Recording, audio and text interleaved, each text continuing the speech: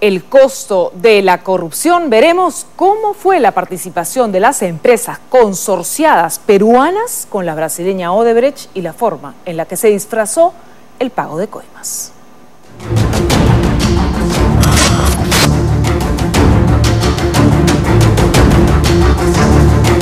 Que Odebrecht corrompió funcionarios a punta de sobornos, ya lo sabemos todos que muchas de las obras más importantes y costosas del país hayan sido hechas a la medida para satisfacer acuerdos por debajo de la mesa también. Lo que aún no se define a ciencia cierta, aunque sospechas no faltan, es cuál fue la participación de aquellas compañías peruanas que junto con la empresa brasileña ejecutaron los proyectos hijos de la corrupción. Se da inicio a la ceremonia de sus viales números 2, 3 y 4 del corredor vial interoceánico sur Perú-Brasil. En estos momentos, el señor Jorge Barata. A continuación, el señor José Graña Miroquesada suscribe el contrato de concesión Corredor Vial Interoceánico Sur, tramo número 2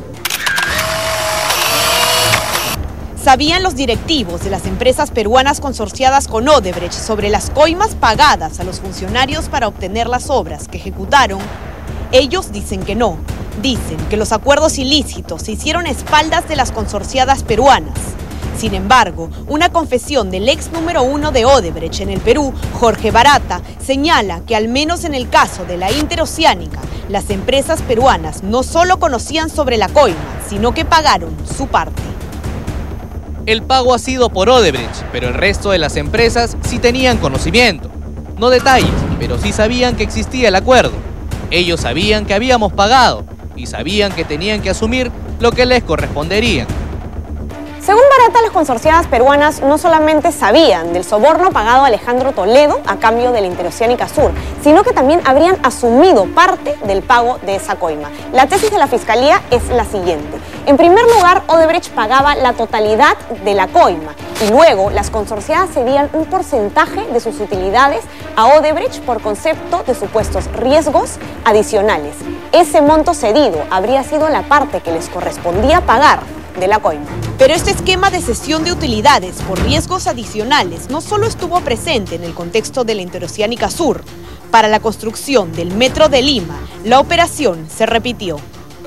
Carlos Nostre, exfuncionario de Odebrecht a cargo del Metro de Lima, confesó al Ministerio Público que Juan Manuel Lambarri, exgerente de Graña y Montero, sí sabía que estos riesgos adicionales correspondían a parte del pago de la coima para obtener la buena pro de esta obra. En todos los casos, Graña y Montero, IXA, JJ Camet, eh, han eh, sido encontrados y señalados con responsabilidad penal y además para poder responder eh, en la reparación civil.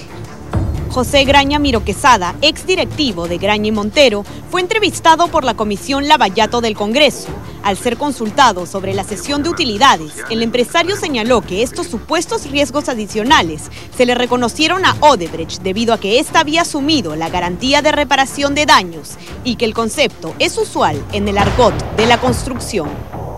A través de este concepto de riesgos adicionales lo cargaban en la contabilidad a efectos de evitar el pago de este monto. Era el nombre, digamos, diplomático, lindo, que le ponían a, efectos de que en el fondo probablemente, eso lo decidirá el juez, lo que, lo que estaba ocurriendo es que se estaba encubriendo una coima. Pero la cesión de utilidades no es el único hecho que levanta sospechas en el contexto de la Interoceánica Sur. El 4 de agosto de 2005 ocurrió un episodio que aún no ha podido ser dilucidado. Eran las 10 y 2 minutos de la mañana y todo estaba listo para la firma de contrato de los tramos 2, 3 y 4 de la Interoceánica Sur en Palacio de Gobierno, cuando la Contraloría General de la República envió a Proinversión un oficio en el que señaló que las consorciadas, entre estas Graña y Montero, tenían procesos judiciales con el Estado y por tanto, según las bases del concurso, no podían ganar la buena pro de la obra. En cuestión de horas, Proinversión consiguió un informe jurídico que supuestamente absolvía las observaciones de la Contraloría y el contrato fue firmado de todas maneras. Se da inicio a la ceremonia de sus viales números 2, 3 y 4 del corredor vial interoceánico sur Perú-Brasil. en estos momentos el señor Jorge Barata. A continuación, el señor José Graña Miroquesada suscribe el contrato de concesión Corredor Vial Interoceánico Sur, tramo número 2.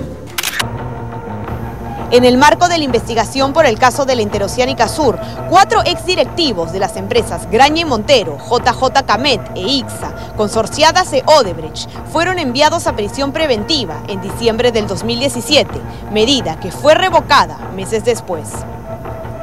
En octubre, las alarmas se encendieron cuando se conoció que José Graña había salido del Perú rumbo a España. Sin embargo, el expresidente de Graña y Montero retornó al país el pasado fin de semana, como se aprecia en esta fotografía.